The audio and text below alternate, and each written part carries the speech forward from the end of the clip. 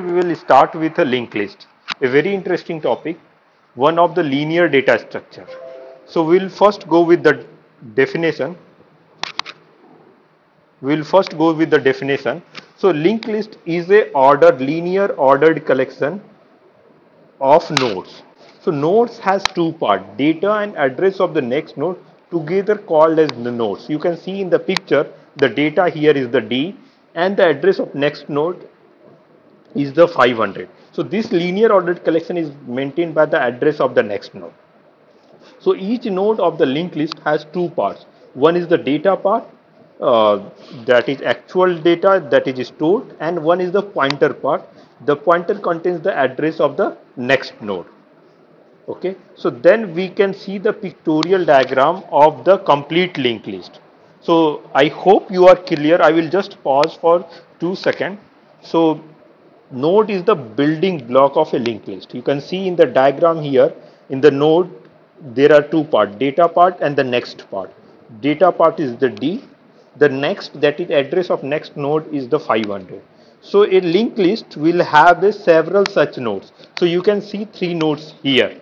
So we'll fill up the content of these three nodes. So let us say first the element is the D, second element is the S, third element is the A and now we'll fill up the address or the pointer part next part. Suppose the address of the first element is 500 address of second element is 600 address of next element is 700 so what you think that this is the data part? First part is the data part. Second part is the next part. So what you think the value in the next will be there in the first node can you guess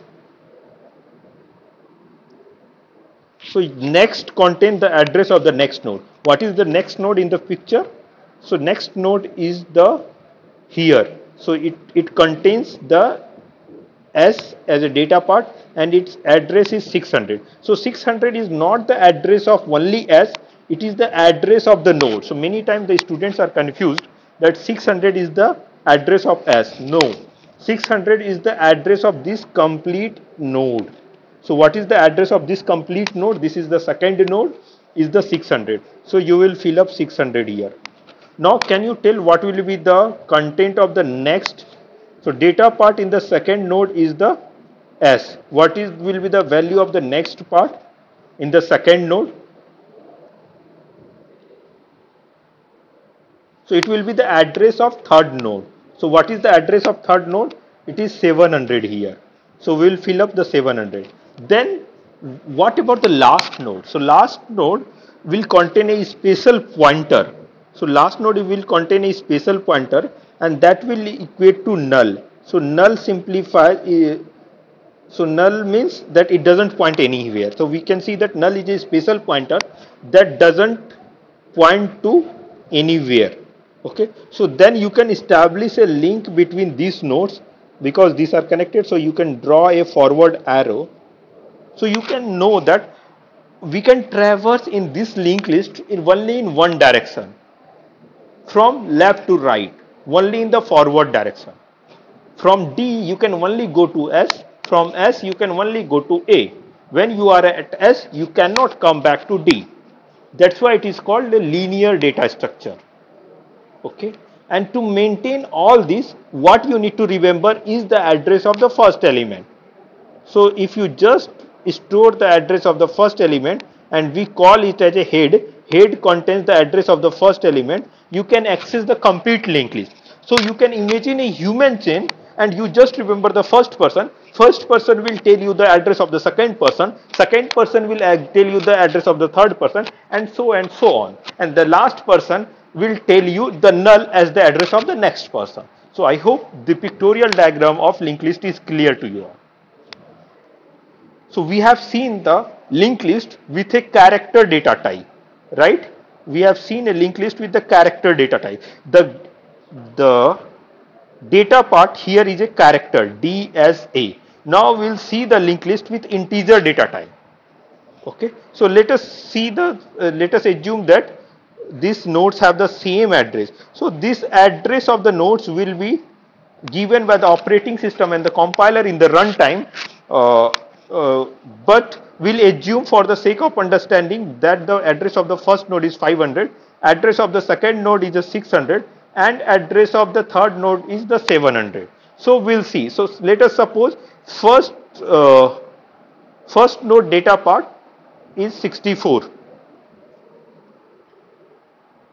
then second node data part is say 92 and third node data part is say 57 so these are three data parts. So you have already seen what would be the pointer part in the first node. So can you please tell what will the pointer part? You have already seen here what is the in the next pointer point to next pointer point to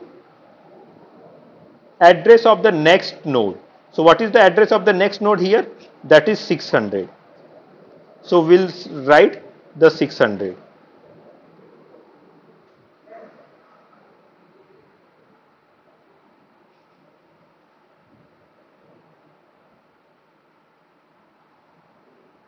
So we'll write here 600 and what will be the next part here? 700 what will be the it is the last node so what it will contain? Null. What is null? Null is a special pointer that doesn't point to anywhere. So like this and head what the head value will contain? Head will contain address of the first node so what is the address of the first node that is 500 so like this a linked list with the integer data type can be seen. Now the pictorial diagram of the linked list is clear. So we'll see why we are using the linked list. We have the access to the array. So why we are proceeding to the linked list? Why we bother to have a linked list? Because it adds, it gives you the mm, it gives you the mechanism for the dynamic memory allocation. So you can allocate the memory as many nodes as you need on the demand. Unlike the uh, unlike the array part where you have to define the total number of nodes at the start. Similarly, other advantage is that you can insert and delete any element at the random position. So you can insert and delete any element. So you can insert and delete any element. So a new element, a new element or data at a random position. So that is the advantage of the linked list. Now we'll see the different type of linked list. So what we have just seen was the example of single linked list. So single linked list, each node will have only one pointer. So we have seen the single linked list. So here the data part is D, the data part is S, uh, and the data part is A. So the suppose here address is 500 address is 600 address is 700 so this will point to null. So this will contain 600 this will contain 700 this will contain null. And that this we can move only in forward direction. So in the single linked list each node will have a single pointer. We can move only in forward direction. That is left to right direction. Okay so in the whereas in the double linked list, each node will have the two pointer. So the first pointer uh, like the next and the previous. So previous pointer will contain the address of the previous nodes. So each node will have the two pointer and the one data element. So there will be the three parts to it. So each node will have the three parts to it. So let us say it has the D and the sorry so uh, it has the it has the d in the data part in the content part s in the content part a in the content part. Suppose the address here is the 500 address here is the 600 address here is the 700 so last node will point to the null so it will contain null. So what will be the value into the previous pointer in the last node? So previous will contain the address of the previous so it will be the 600 so the next will next here will contain the address will contain the 700 the previous contains the 500 so here the next will contain 600 the previous it will contain it is the first node so previous is pointing to a null so we can link like this. So this forward direction and backward direction. Forward direction and the backward direction. So here forward direction is nil backward direction is here.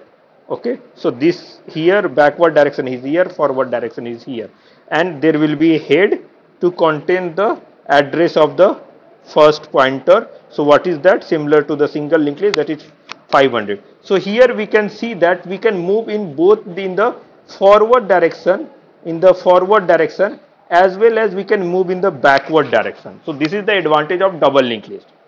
In the single linked list, we can move only in the forward direction. Then comes the circular linked list. So after reaching the null, in the so it is like the single linked list. It will have the each node will have uh, like the single uh, linked list. Each will node will have only one pointer element. So this is our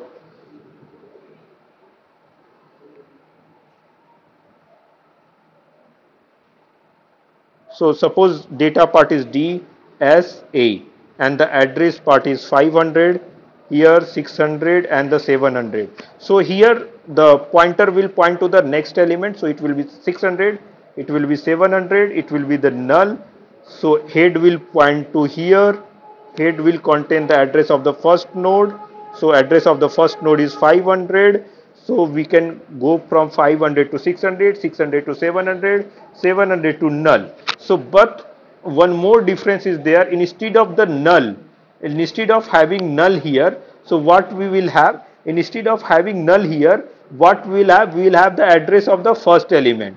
So, we will have the address, what is the address of first element? So, that is uh, 500. So, address of the first element is 500. So, we will have the it 500 here instead of having it null. So, it will not point to the ground it will not point to ground. Rather it will uh, go back where? It will go back to the first node. So like it is attached to the first node. So this is how the circular linked list look like. So you can after reaching to the last element you can go back to the first element. So similar to the single linked list each element has one data part one pointer part and you can only traverse in the forward direction then you have the doubly linked list. So it is a combination of the single linked list and the uh, single linked list and the double linked list and the circular linked list. So each node will have the two part, three part, each node will have the three part, two pointer part and one data part. So data part here is D, data part S, data part A. Then comes the important thing, the suppose address is 500, 600, 700. So here the next pointer will contain the 600 address of the next. Here the next pointer will contain the address of the next. So this is the next pointer. This is the previous pointer and this is the data part. This is the data part. So this will contain the address of the previous one that is 500. This will contain the address of the previous one that is 600. This should contain the null but at it is circular linked list. So it would point back to the first node so it will contain 500. Similarly, this should point to the null, but this is the previous pointer will point back to the last node. So this will contain 700 and then there will be a head pointer. So head pointer will contain the address of the first location and it will point to the here. So this is our uh, the head that contains the address of the first. So this is how the there are the four different uh, link uh, link list so this will look like this and the both way so we can traverse in both forward ways and the backward ways here so we can repeat so the in the single linked list each node have a two part data part and the pointer part we can uh, move only in the forward direction in double linked list each node have the three part the previous the data and the next we can move in both forward and the next part. The next part of the last node contains the null. The previous part of the first node contains the null. In the circular linked list, similar to the single linked list, each node have the two part, data and the next. So data and the next. Okay, but the uh, next part of the last node, instead of pointing to the null, it points to the address of the first node. Then we have the doubly circular linked list that is hybrid of double linked list and the circular linked list. So each node will have the three parts data part and two pointer part previous and the next and we can move in the both the forward and backward direction.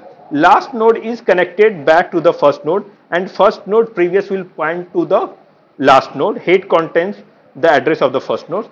So this was a brief introduction to the linked list.